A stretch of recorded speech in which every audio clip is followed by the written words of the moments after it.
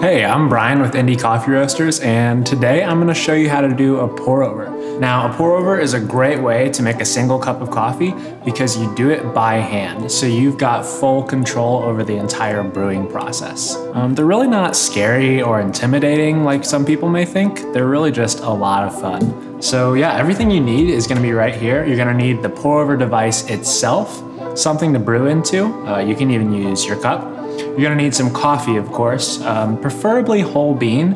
In that case, you're gonna need a grinder as well. You're gonna need a kettle, preferably a gooseneck kettle with some hot water, and then, uh, you know, filters for the corresponding pour over device. So I'm gonna start by just pre-wetting my filter. Uh, you do that just by saturating the filter with a little bit of hot water, and this just removes that papery taste. And at the same time, that's gonna be preheating your brewing vessel underneath, which is kind of convenient. Then I'm gonna just set that aside and I'm gonna get my coffee and my dosing cup here. And I'm gonna put that dosing cup on the scale, tare it out and measure out 25 grams of coffee. And now when I grind this, I'm gonna grind it at kind of a medium to fine setting. Um, if one is absolutely fine and 10 is absolutely coarse, it's gonna be kind of a four, if you will. Okay, so now I've got my preheated brewing device, I've got my ground coffee. I'm gonna go ahead and put that into my filter here. I'm gonna tare out my scale so it's at zero. Then I'm gonna give this bed of coffee a little shake just to settle it all in there. All right, and we're ready to go. Um, so at the end of the day, we're gonna be putting in 375 grams of hot water into the coffee. Now we're gonna do that in four different stages. The first of which is called the bloom.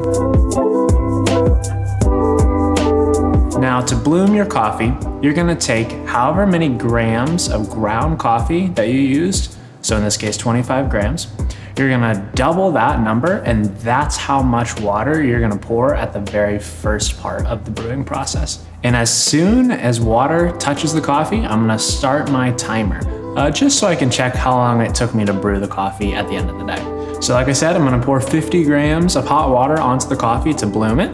And I'm gonna let that sit for about 40 seconds after I do that. And when I'm pouring that hot water, I'm gonna do it in kind of a slow circular motion and I'm gonna pour only onto the grounds. If you pour onto the filter, you know, that'll slip right past the coffee and not really do anything. Now I'm gonna pour my remaining amount of water after the bloom in thirds. So if I poured 50 grams, and I'm gonna end with 375 grams. I've got, you know, 325 to go. So I'm gonna break that up into just pouring a little over 100 grams every time. All right, so I'm gonna pour that 100, 100 plus grams in, and again, I'm gonna pour in a slow circular motion, only touching the grounds. You pour in that circular motion just to touch all parts of the grounds and not really hang out in one area too much and extract flavor over there more than the rest. And you're gonna wanna pour your water pretty close to the surface um, you know, pretty low down there, just so it doesn't pour from too high and shoot past through the coffee and not really do anything again. When the water drips all the way through the coffee grounds, that's when I'm, I'm gonna pour my second third of, uh, you know, of hot water. But sometimes some pour over devices tend to kind of clog up. Make sure your filter is, you know, clear and not obstructing any flow. Okay, once that second third of hot water goes and trickles down through the coffee there, I'm gonna pour up to 375 grams of hot water. I'm gonna pour my last third of hot water, again in a slow and circular motion.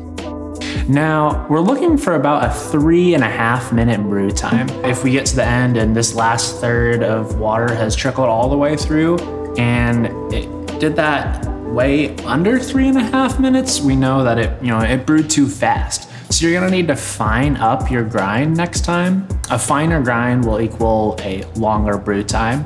And if your coffee brewed, you know, really slowly, if it took way longer than three and a half minutes, you're gonna wanna coarsen up your grind size. Okay, so our water is all dripped through in about three and a half minutes here. And then I'm gonna take my hot water here and I'm gonna preheat my cup that I'm drinking out of. Um, just so that, you know, when I put the coffee in there, it doesn't take all the heat away. And then I'm just gonna dump that preheating water and serve and enjoy.